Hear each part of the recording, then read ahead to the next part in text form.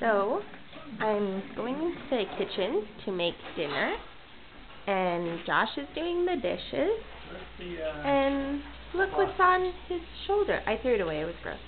Why need Well, use a sponge. And this is what is on his shoulders while he does the dishes.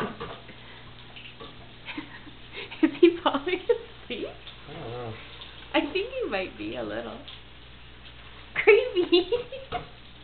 What are you doing?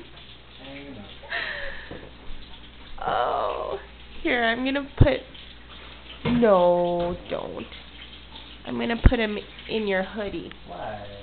Well, because he he couldn't really hang on, so I'm gonna put in your hoodie. So now